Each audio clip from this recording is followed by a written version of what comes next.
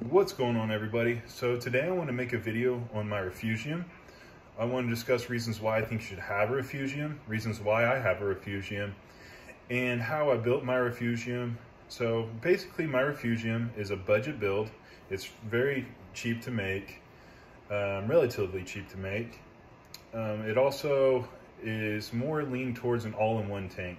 So the setup I have has a back chamber and I don't have a sump so I have to build the refugium within the back chamber of my all-in-one tank. You could use this setup in a sump system. Obviously, you just have to modify a few things. And also this build is more for a nano tank. But if you do have like a larger tank, let's say up to above 60 gallons, you just have to beef up, beef up this refugium just a little bit. Um, but let's get started on reasons why you should have refugium. So basically there are about three main reasons why you should have a refugium. First being nitrate control, second being phosphate control, and the third being a, a housing breeding area for your isopods and copepods. So the first two kind of go hand in hand. Um, so it lowers, having refugium lowers your nitrates and phosphates. Uh, how it does this is basically a refugium is a spot outside your main display where you can grow microalgae using usually a red light or any type of light to grow that microalgae. So light other than your main display light. Um, so when that microalgae grows in this confined area, it uh, eats your nitrates and phosphates within your tank. So in return, that lowers your nitrates and phosphates, making it um, easier for you to control those two things because you have this microalgae eating it and also helps you space out your water changes. So having a refugium is awesome um, for, the, for those reasons right there. Um, the main reason I love it is I can space out my water changes a little bit. So I only have to do a water change about every three weeks. And I think that's large to do because of the refugium. Um, it just consumes a lot of nitrates and phosphates in my tank. I, I feed heavy, I feed all my corals, and my chaeto grows like crazy. So I know it's doing its job. And my nitrates and phosphates do stay relatively low for how much I feed. Um, and the last reason is going to be the isopods and copepods breeding area. So within your refugium, once you have some isopods and copepods within your tank, they're going to make their way to that refugium. One way or the other, they're going to get there. Uh, it is the perfect place for your isopods and copepods to breed and to live. So the reason why they, they live there, first off, it's safe. So there is no predators within your uh, refugium. Um, they can live amongst that chaeto or whatever microalgae you have in there. Uh, so it's a safe haven for them. And, then, and within that safe haven, they breed. So they reproduce within the, the chaeto. In my example, I'm using chaeto. Um, and then they also eat um, all the algae that's grown inside the refugium. So there will be film algae, um, microalgae grown on top of the chaeto, and those isopods and copepods will eat those. So in return, they'll breed, and then more isopods and copepods will make their way into the main display, and the isopods and copepods will feed your fish. So your fish will eat them like my six line wrasse picks off the isopods. I'll come in here at night and I'll see him uh, hunting those isopods and so it, it, feeds the fish. And it also also those isopods and copepods they will eat the film algae on your glass. They'll eat hair algae. So they're very good algae control. I think they're one of the best. I think they're very underrated. So having those isopods and copepods are very beneficial to your tank. And that is all thanks to having a refugium. I think without the refugium you won't have as much success with isopods and copepods so having refugium, especially for if you have a mandarin, is a must. I think you must have refugium to have a mandarin unless you're dosing your tank with isopods and copepods. So you can see having a refugium has many benefits. It's not just nitrate and phosphate control, it's just beneficial for your tank in general. So let's get to how I created my budget refugium. So I have an all-in-one 25 gallon lagoon tank. Here it is. All my corals in here. They're doing great. That one looks a little rough. Uh, I had a fish pick on that one, so that's why it's up here. So let's make our way back to the refugium. So right now it's on. Um, right now my tank, it was off. I turned the lights back on about 30 minutes ago. So the corals might look a little closed up.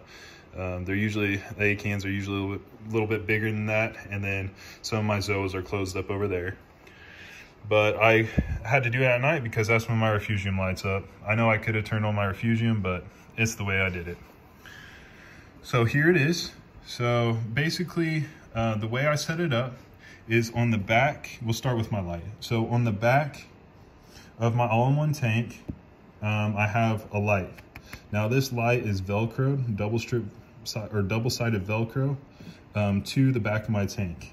And on the back of these tanks, they are black, but it's more like a sticker on the back. So you can take a razor blade and cut a hole um, so it's just bare glass showing. I have another tank out in the garage that I will pause this video and show you that real quick.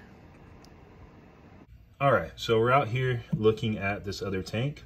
So this tank is an Innovative Marine 10 gallon and the tank in there is a 25 gallon Lagoon tank by Innovative Marine. So it's the same manufacturer that makes this tank as the other one. So it's exactly the same, built exactly the same, just the one in there is a bit bigger. So you can see back here is a back, is a black background and um, it's basically the sticker adhesive material.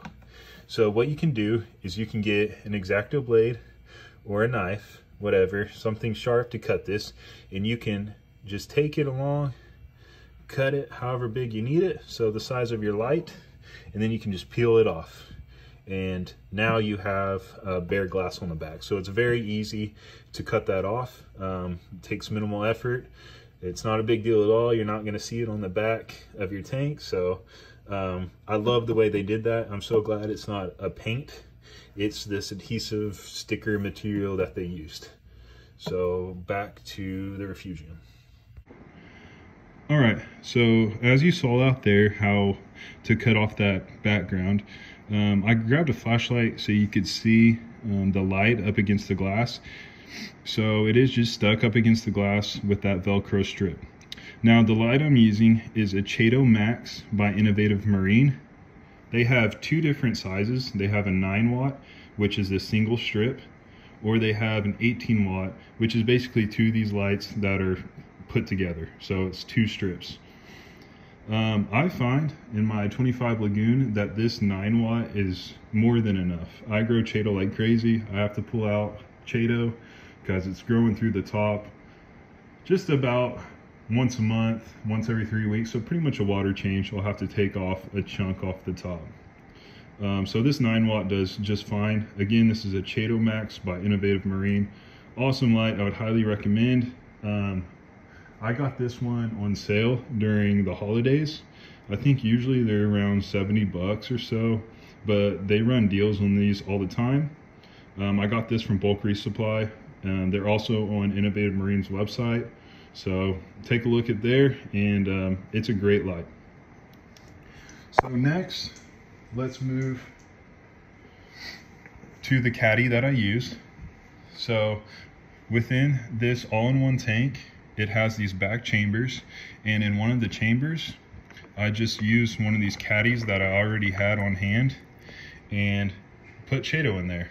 So you can see I have a lot of sponge algae or sponge on the back of this glass here. Um, I just need to wipe that off every so often. But uh, what I did is I used one of these caddies it's got a shelf right there. I put it on the lowest shelf as possible. I, I kept a little space so water could flow in between there very easily. And also the light stops uh, about the end of the Chaeto. So um, yeah, so I used one of these Innovative Marine caddies. So this caddy is by Innovative Marine. Um, I just modified it to put Chaeto in here, threw some Chaeto in here, threw it in this back chamber, and that's all my refugium is. Uh, if I didn't have this innovative marine caddy on hand already, I could have built one using egg crate, but I really like the ease of the innovative marine. I do think it's worth the extra money to buy one of these, but if you're trying to do a budget build, just go ahead and use an egg crate. Um, you can look up those on YouTube, egg crate caddies. very easy to make. You just buy some egg crate from Walmart, you cut it into a square, you zip time together uh, into form this caddy shape, and you just stuff Chaeto in the top. Very easy, very cheap to make. So this is all my refugium is. Um, and isopods and copepods love this thing. So that just sinks back in that hole um, I have plenty of flow because I have my pump uh, in this next chamber right here. So it's pulling, you can kind of see where it's pulling the water. So it's going down through there and pulling out through the bottom and a little bit from the top. Majority of the water is getting pulled from the bottom there. So water is being flown through there. Now having flow is an important part to having um, a refugium. You do want adequate flow.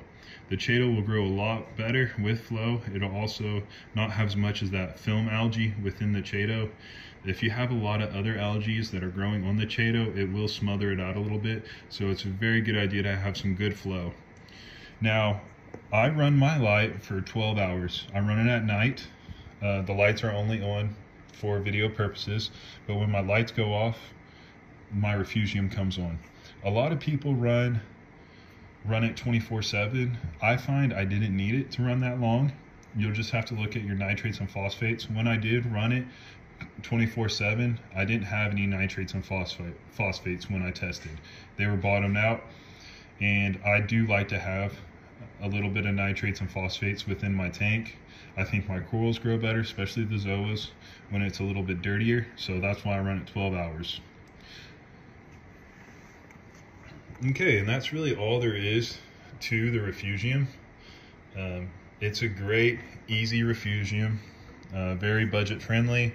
You don't have to spend a tons of money on these refugiums. And um, a lot of people think you need a sump to have a refugium. You don't. I have one in my all-in-one tank and it works great.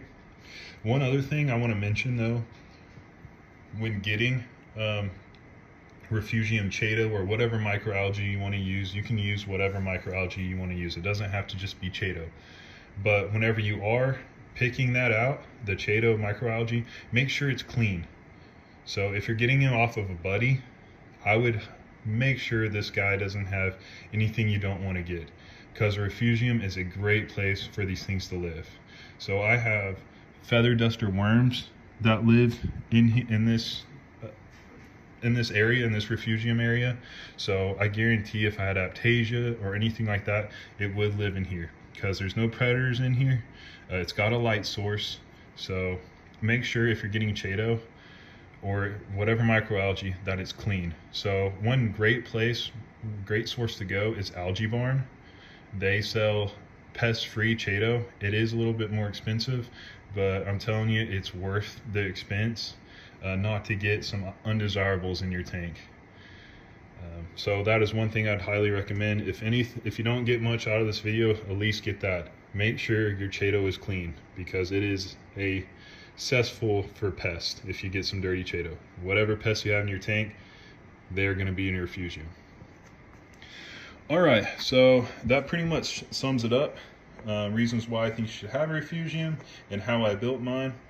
If you have any questions, please leave it down in the comments. Um, I try to answer every question that gets thrown down there. Um, if you like the video, leaving a, a like and, and subscribing if you wanted to or a comment, that means the world to me and I really appreciate all the love and support I've gotten so far. Um, so again, if you like this video, go ahead, throw a like down and I appreciate you watching. Stay tuned for the next one.